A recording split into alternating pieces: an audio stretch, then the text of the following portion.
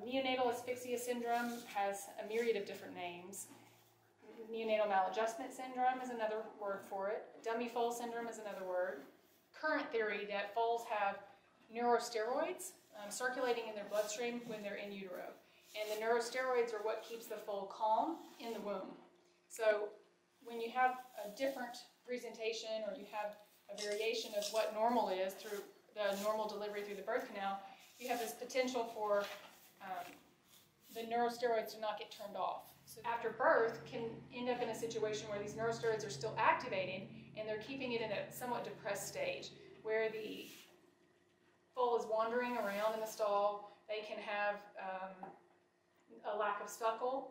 They can make some vocalizations that they shouldn't make. So our attempts are going to be to simulate the birthing process through what they call the Madigan squeeze to basically reset and turn off these neurosteroids. Uh, yeah, can you put it in?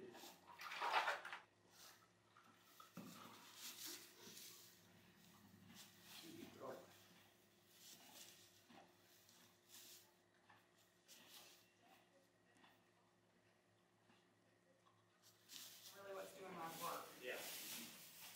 Trying to be.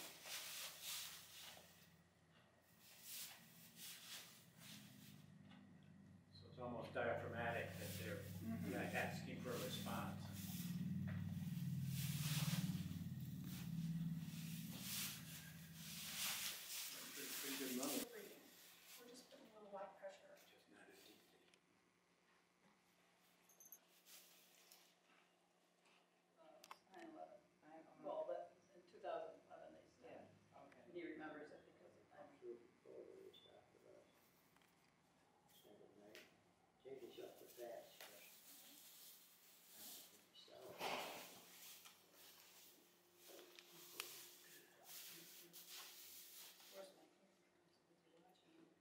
than it is.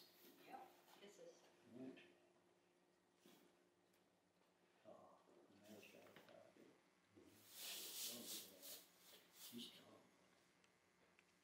Uh-huh.